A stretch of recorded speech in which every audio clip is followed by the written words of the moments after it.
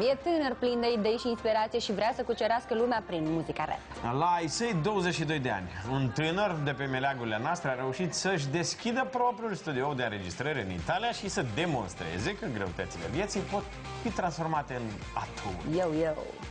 Come on. Clipul din imagine nu e produs de Jay-Z, 50 Cent sau Eminem, dar le poate face concurență. Este piesa lui Kostaki, un tânăr talentat din Cahul care locuiește de la 10 ani în Italia și muncește mult ca să cucerească lumea rapului. Deși arată tipic stilului de muzică preferat, sub chipiu se ascunde o poveste de viață demnă de scenariul unui film. Și-a pierdut fratele mai mare într-un cuplit accident rutier, iar de atunci muzica a devenit consolarea sa. Doar pe la 14 am înțeles că muzica, în comparație cu altele, e ceva esențial pentru viața mea. Așa că m-am ținut de ea.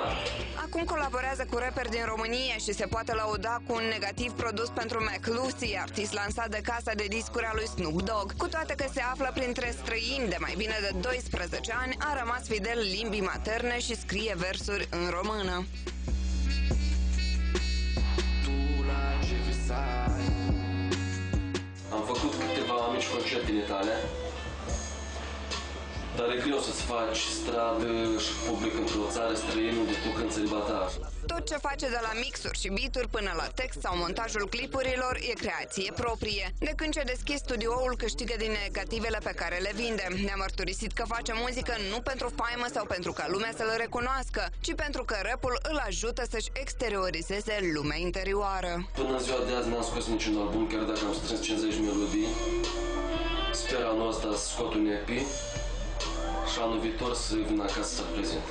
Are planuri mari, muncește mult, iar anul viitor planifică o lansare de succes în Moldova. Până atunci, Costache și muzica lui pot fi găsite pe YouTube.